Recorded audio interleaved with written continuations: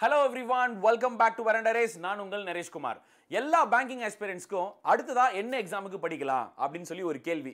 ஏன்னா நம்மளுக்கு இந்த வருஷம் ரெண்டாயிரத்தி இருபத்தி மூணில் எல்லா எக்ஸாம்ஸுமே செகண்ட் ஆஃப்ல தான் ஃபாலாக ஆக போகுது. IBPS clerk RRB clerk and IBPS PO and RRB PO எல்லா எக்ஸாம்ஸுமே செகண்ட் ஆஃப் இந்த ஆண்டினுடைய இறுதியில் தான் வரப்போகுது. இந்த ஆறு மாதத்துக்கு என்னென்ன எக்ஸாம்ஸ் இருக்க போகுது அப்படின்னு பார்த்தா எல்ஐசி நோட்டிஃபிகேஷன் வந்திருந்தது. எல்லாருமே எல்ஐசிக்கு உங்களோட ப்ரிப்பரேஷன் ஸ்டார்ட் பண்ணியிருப்பீங்க இந்த நேரத்தில் எல்லா பேங்கிங் ஆஸ்பிரண்ட்னுடைய வயிற்றுலையும் பாலை வாத்த மாதிரி பிஓஐனுடைய நோட்டிஃபிகேஷன் வெளியாயிருக்கு. ஸோ அந்த பிஓஐனுடைய நோட்டிஃபிகேஷன் பற்றி தான் இந்த வீடியோவில் பார்க்க போகிறோம் வாங்க வீடியோக்குள்ளே போகலாம். ஸோ முதல்ல இந்த அப்ளிகேஷன்ஸ் எப்போ நான் எப்பத்துலேருந்து நம்ம வந்து அப்ளை பண்ண ஆரம்பிக்கலாம் அப்படின்னு சொல்லி பார்த்தீங்கன்னா பதினொன்று ரெண்டு ரெண்டாயிரத்தி இருபத்தி மூணு. அதாவது நாளையிலிருந்து இந்த அப்ளிகேஷன்ஸ் நீங்கள் அப்ளை பண்ண ஆரம்பிக்கலாம். அடுத்தது லாஸ்ட் டேட் வந்து பார்த்தீங்கன்னா டுவெண்ட்டி ஃபிஃப்த் பிப்ரவரி ஸோ இந்த ரெண்டு நாளுமே இன்க்ளூசிவ் டேட்ஸ் ஓகே பதினொன்றாம் தேதியிலேருந்து இருபத்தஞ்சாம் தேதிக்குள்ளே நீங்கள் அப்ளை பண்ணிக்கலாம் அப்படின்னு சொல்லியிருக்காங்க. Relevant date for age and qualification இப்போ நீங்கள் வந்து கிராஜுவேட்டாக இருக்கணும் உங்களுக்கு இத்தனை வயசு இருக்கணும்னு சொல்லியிருப்பாங்கல்ல அது எல்லாத்துக்குமே பேஸ் டேட் இதுதான். One February two thousand twenty three இதுதான் உங்களுடைய பேஸ் டேட் அதற்கு பிறகு ஆன்லைன் எக்ஸாமினேஷன் எப்போ இருக்கும் அப்படின்றது வந்து டென்டேட்டிவாக இன்னும் அனௌன்ஸ் பண்ணல. அதை வந்து செப்பரேட்டாக அனௌன்ஸ் பண்ணுவோம் அப்படின்ற மாதிரி சொல்லியிருக்காங்க ஓகே இப்போதைக்கு நம்ம அப்ளை பண்ணி வைப்போம். பின்னாடி நம்மளுக்கு இதுக்கான ஒரு அப்டேட் வரும். ஸோ வேகன்சிஸ் டோட்டலாக எவ்வளோ இருக்குது அப்படின்னு சொல்லி பார்த்தீங்கன்னா ஐநூறு வேகன்சிஸ் இருக்குது இதில் ரெண்டு category credit officer in general banking ஸ்ட்ரீமில் முந்நூற்றம்பது வேகன்சிஸும் ஐடி ஆஃபீஸர் இன் ஸ்பெஷலிஸ்ட் ஸ்ட்ரீமில் வந்து நூற்றி ஐம்பது வேகன்சிஸ் டோட்டலாக ஐநூறு வேகன்சிஸ் வெளியிட்டிருக்காங்க. It's a huge vacancy anyway அடுத்ததா இதுக்கு என்னென்ன குவாலிஃபிகேஷன் எஜுகேஷனல் குவாலிஃபிகேஷன் என்ன என்ன படிச்சிருக்கணும் அண்ட் என்ன வயது வரம்பு இருக்கணும் அப்படின்றத பார்க்கலாம். கிரெடிட் ஆஃபீஸர் எடுத்துக்கிட்டிங்கன்னா இங்கே ஏஜ் வந்து பார்த்தீங்கன்னா டுவெண்ட்டி டு டுவெண்ட்டி நைன் இதுலேயும் உங்களுக்கு கன்செஷன்ஸ்லாம் உண்டு. ஸோ ரிலாக்ஸேஷன்ஸ் உண்டு. Twenty to twenty nine for general அடுத்ததா ஏதாவது ஒரு டிகிரி அட் எனி டிசிப்ளின்னு கொடுத்துருக்காங்க. யூஸ்வலாக சிக்ஸ்டி பர்சன்ட்லாம் சம்டைம்ஸ் எக்ஸ்பெக்ட் பண்ணுவாங்க. இதுக்கு முன்னாடி வங்கிகள்லாம் தனியாக எக்ஸாம்ஸ் கண்டக்ட் பண்ணும்போது சிக்ஸ்டி பர்சன்ட் எக்ஸ்பெக்ட் பண்ணுவாங்க. ஆனால் இப்போ என்ன சொல்லியிருக்காங்க? எனி டிசிப்ளின் அறுபது பர்சன்டேஜ்லாம் இருக்கணும்னு அவசியமே இல்லை. டிகிரி முடிச்சிருந்தாலே போதுமானது. அதே மாதிரி தான் IT ஆஃபீஸருக்கும் twenty to twenty nine age limit சொல்லியிருக்காங்க. இங்கேயும் பார்த்தீங்கன்னா ஃபோர் இயர்ஸ் இன்ஜினியரிங் அல்லது graduate degree in any discipline அப்படின்ற மாதிரி சொல்லியிருக்காங்க. ஸோ அப்போ ஒரு டிகிரி படிச்சிருந்தா போதும். இருபதுலேருந்து இருபத்தொம்பது வயதுக்குள்ளே இருந்தால் போதும். உங்களுக்கு relaxation as per the community guidelines உங்களுக்கு கொடுத்துருவாங்க.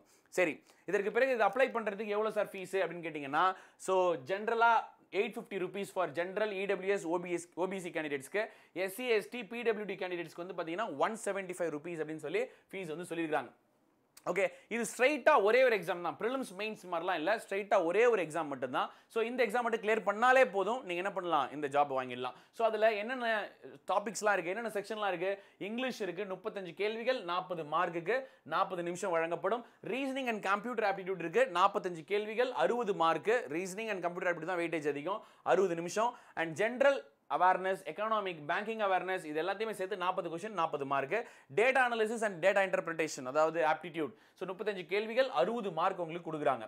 ஃபார்ட்டி ஃபைவ் மினிட்ஸ் இதை தொடர்ந்து இது எக்ஸாமுக்கு அப்புறமா இங்கிலீஷ் டிஸ்கிரிப்டிவ் பேப்பர் உங்களுக்கு இருக்கு. லெட்டர் ரைட்டிங்கும் எஸ்ஏ ரைட்டிங்கும் இருக்கும். ஸோ ஒரு லெட்டர் ரைட்டிங் எழுத சொல்லுவாங்க ஒரு எஸ்ஏ ரைட்டிங் எழுத சொல்லுவாங்க. அது ரெண்டுத்துக்கும் சேர்த்து இருபத்தஞ்சு மார்க் இதுக்கு முப்பது நிமிஷம் தனியாக வழங்கப்படும். ஸோ இந்த ஆன்லைன் எக்ஸாம் முடிஞ்சதுக்கு பிறகு உடனே என்ன பண்ணுவாங்க? ஒரு குறிப்பிட்ட கேப்பில் உங்களுக்கு இதை கொடுத்துருவாங்க. ஸோ தேர்ட்டி மினிட்ஸ் நீங்கள் என்ன பண்ணணும்? ஒரு எஸ்ஏ ரைட்டிங் ஒரு லெட்டர் ரைட்டிங் உங்களுக்கு கொடுக்கப்பட்ட டாப்பிக்கில் நீங்கள் எழுதணும். சரியா? ஸோ இந்த எக்ஸாம் என்ன இந்த எக்ஸாம் கிளியர் பண்ணால் என்ன மாதிரி வேலை கிடைக்கும்? இது what is the nature of the job அப்படின்னு சொல்லி பார்த்தீங்கன்னா ஸோ இதோட ஸ்கேல் ஆஃப் பே எவ்வளோ சேலரி கிடைக்கும்? அப்படின்றதெல்லாம் பார்க்கலாம். Junior management grade scale junior management grade scale and உங்களுடைய சேலரி வந்து பார்த்தீங்கன்னா தேர்ட்டி சிக்ஸ் தௌசண்ட்ஸ்லேருந்து ஃபார்ட்டி சிக்ஸ் தௌசண்ட் அதாவது மினிமமாகவே உங்களுக்கு தேர்ட்டி சிக்ஸ் தௌசண்ட் ப்ளஸ் இது இல்லாமல் அலவன்சஸ் இன்சென்டிவ்ஸ் இது எல்லாமே உண்டு ரைட்டா ஸோ அப்போது யார் யாரெல்லாம் இந்த எக்ஸாமுக்கு அப்ளை பண்ணலாம் எல்லாருமே இந்த எக்ஸாமுக்கு அப்ளை பண்ணலாம். நிறைய பேர் பார்த்தீங்கன்னா ஐபிபிஎஸ் பியூ எக்ஸாமை சரியாக பண்ணல. ரொம்ப க்ளோஸில் போய் நம்ம விட்டுட்டோம். மெயின்ஸ் எக்ஸாம்ஸில் குவாலிஃபை ஆக முடியல அப்படின்னு சொல்லி நிறைய பேர் வருத்தப்பட்டு இருப்பீங்க. அவங்க எல்லாருக்குமான ஒரு எக்ஸாம் தான். அதே லெவல் ஆஃப் கிரேடு தான் இந்த எக்ஸாமும் ஸோ ஐபிஎஸ் பியூ சரியாக பண்ணல அப்படின்னு தவற விட்ட மாணவர்கள் வருத்தப்படாமல் இந்த எக்ஸாமுக்கு நீங்கள் உங்களோட ப்ரிப்பரேஷன்ஸை ஸ்டார்ட் பண்ணுங்க.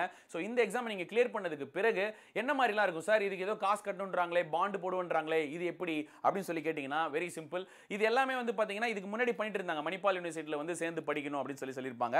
ஸோ இப்போ இந்த தேர்வில் நீங்கள் வெற்றி பெற்று விட்டீங்கன்னா you are you're you are going to you know three fifty lakhs I mean three lakh fifty thousand வந்து நீங்கள் என்ன பண்ணணும்? டெபாசிட்டாக பே பண்ணணும். அதற்கு நீங்கள் வந்து கையில் வச்சிருக்கணும்னு அவசியம் இல்லை. அது அவங்களே வந்து என்ன பண்ணுவாங்க? உங்களுக்கு லோன் எடுத்து கொடுப்பாங்க. சரியா? லோன் எடுத்து கொடுப்பாங்க. அதை நீங்கள் மாதம் மாதம் இஎம்ஐயாக நீங்கள் கட்டிகிட்டே இருக்கணும். இவங்களுக்கு மூணு வருஷத்துக்கு பாண்ட் போடுவாங்க. இந்த மூணு வருஷம் பாண்டை நீங்கள் பிரேக் பண்ணாமல் இருந்தீங்க அப்படின்னாக்க ஐந்து வருடம் கழிச்சு அதாவது ஸ்டார்ட் பண்ணதுலேருந்து ஐந்து வருடம் கழிச்சு இந்த காசை உங்களுக்கு என்ன பண்ணிடுவாங்க? திரும்ப கொடுத்துருவாங்க. ரைட்டா அண்ட் அதே மாதிரி யாராவது பிரேக் பண்ணிங்க இந்த பாண்டை பிரேக் பண்ண வேண்டிய சூழ்நிலை ஏற்பட்டுச்சுன்னா இந்த த்ரீ லேக் ஃபிஃப்டி தௌசண்ட் வந்து நம்ம என்ன பண்ணணும்? அவங்களுக்கு கொடுக்கணும். இதற்கு காரணம் என்ன அப்படின்னா ஒரு பேங்க் உங்களை வந்து வேலைக்கு எடுக்கும் பொழுது உங்களுக்காக நிறைய ட்ரைனிங்லாம் கொடுப்பாங்க. அதுக்காக அவங்க நிறைய செலவிடுவாங்க இல்லையா? ஸோ அந்த ட்ரைனிங் பர்பஸ்க்காக அவங்க செலவிடக்கூடிய காசை நம்மள்ட்டே கலெக்ட் பண்ணிடுறாங்க.